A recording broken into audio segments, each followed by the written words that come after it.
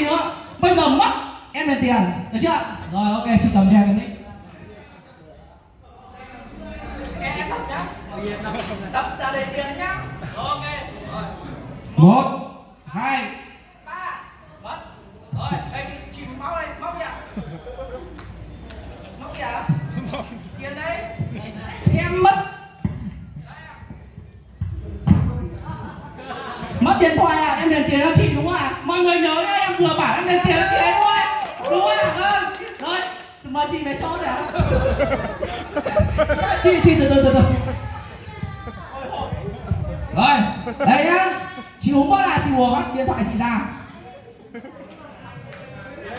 Cái gì à chị chị móc đi. Rồi, xong chưa? Chưa chưa lấy được điện thoại em để lúc này chị đây đây à không lấy được à? Vâng chiều uống là xin bùa lại à rồi đấy đi ạ. Rồi điện thoại chị về đấy. Tiền chị trả em nha vâng em cảm ơn chị rồi. Rồi rồi ạ. Một tiết mục ờ, vui vui ạ. Vâng cảm ơn mọi người ạ. Chúc mọi người buổi tối vui vẻ vâng cảm ơn các bạn cụ chúng ta rất là nhiều. Vâng và à, thì những anh chị nào mà có nhu cầu về vấn đề